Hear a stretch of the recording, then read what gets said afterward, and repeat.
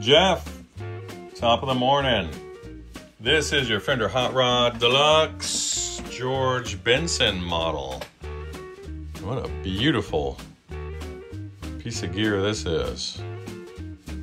Well, what's not beautiful about it is you're having issues with channel switching. Something that um, that we see from time to time on much older Hot Rod family amps. But she's quite, quite handsome there, She wants to play, she just can't. So, um, finally, got you on deck. We're gonna plug her in, power her up, spin her around, and see why she's acting so naughty. Thanks for watching. Don't forget to like and subscribe. All right, El Jefe, El Jefe, as they say in the vernacular. Uh, let me get that off. And then we're going to focus on... Yeah, I got you close up here, so I have no space. Um, these... And these guys, that guy right there, comprise uh, a critical part of the low voltage system inside of this amp and um, are almost single-handedly responsible for all reverb and channel switching failures. Um, so what typically happens is um, there's a lot of current and, and voltage being, rather heat being dissipated here. Um, these are knocking down voltage from the transformer. Um, and by the time it comes out of these diodes there, um, you'll get a plus and minus, uh, 16 volt tap, respectively. Um, in so doing, a lot of heat is being shed by these two guys. And what tends to happen is um, the, the small pads are overwhelmed. They eventually char uh, and then lift, and then you lose connectivity. So your, your plus or minus 16 volt rail will go down. So I'm gonna take this light here, which is has failed. That's fine. Let me just turn this on here. I could accomplish the same thing, it's fine. And I, I could I can see that there is some browning and charring right here along the board. You can kind of see it there. Right there. You see that? Um, usually I can deflect a little bit of light underneath the circuit board and get a, a better view for you, but I, I, could already see it. So um, th there's also another component that is let's see, it's this guy right here, which is, you see that? There's a dropping resistor for uh, the foot switch supply. And that also uh, causes a lot of issues. Uh, the, the traces underneath this are incredibly frail and weak. So that any sort of uh, overheating just vaporizes them. And I'm hoping that's not what we're looking at here. So um, the George Benson models are pretty interesting. Um, I think it would be uh, cool for you guys to see what I'm seeing. So let me pop this off. You guys may not have seen this before, but take a look at the, the power transformer. There's the model designation there.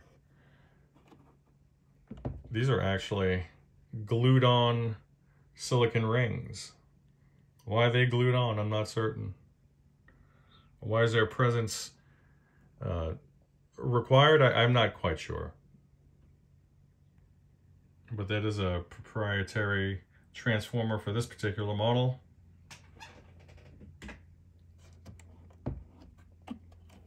It almost feels like almost feels like it's a shield. Almost feels like there's a shield there. If you kind of look at the way the the sides are bent, it Feels like a shield. So maybe a little Faraday cage. So all right, update soon. Let me uh, get this thing hooked up to some power. Okay, so uh, just focus through the handle. Sorry about that. At, get this moved over. There you go.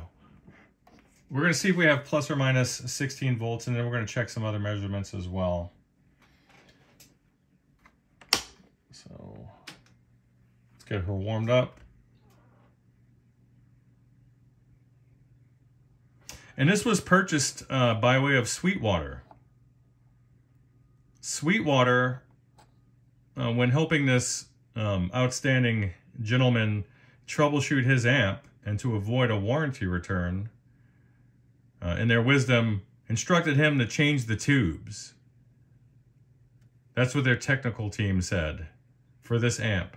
So as soon as I heard that, I, I, I knew it was just going to go downhill for him. So I wanted to take matters into my own hands and make sure he gets proper service. All right.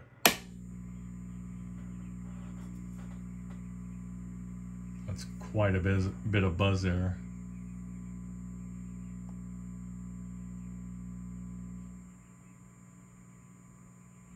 reverb is very noisy. I wonder if the tank is backwards. The tank is not backwards.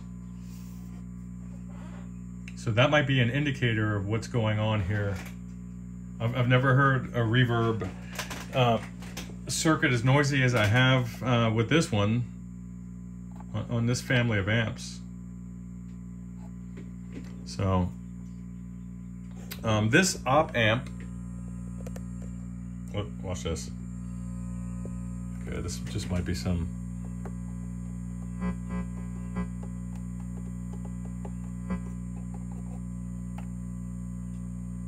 they bent these cables.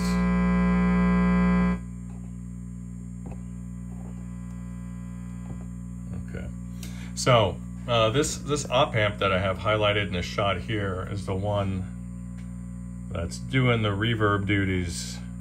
So it's going to be uh, doing drive and recovery roles. And I'm wondering if if it's getting what it needs. So let's get back over here and just focus on that for a minute. So I gotta get my lead sorted out.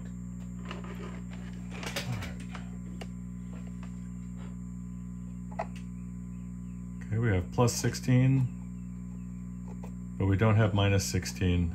So that's your issue. The, the negative side of your low voltage supply is gone so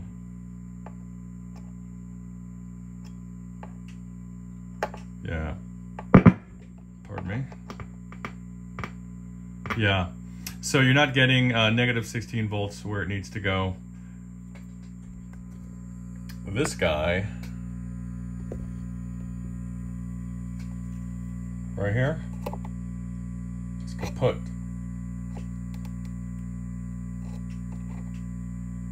I'm getting the same 44 volts at the bottoms here, but on the top end, here I'm getting positive 16. And then here, I'm getting exactly one volt. So that's a hell of a drop here. This, this resistor has almost opened up or, or become greater by a very large margin. Let's measure that thing. And I bet that all that noise in a reverb circuit's going to go away. So while I'm in here, uh, while I have this board out,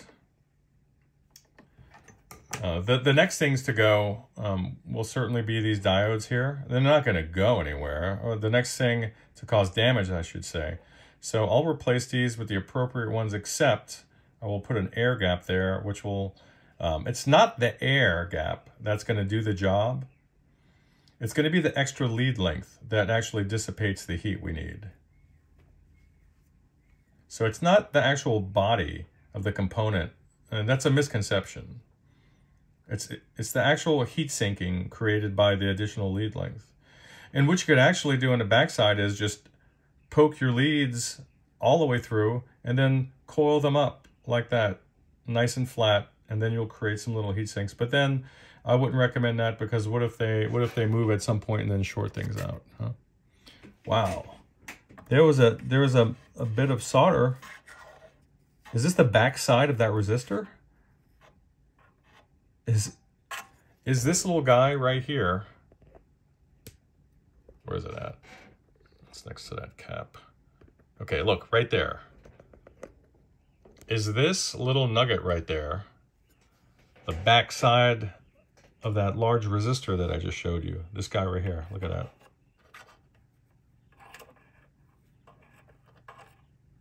Inquiring minds and all that.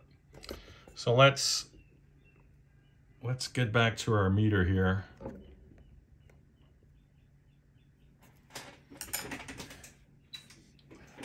Let's see if we can ohm this guy out. Let's see what he's giving us. Okay, let's check the good one. Okay, 470.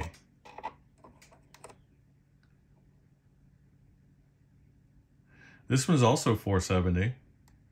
So that means uh, the trace on the other side, or the solder pad rather, has been compromised. And I'm going to have to do a repair. Talk to you soon.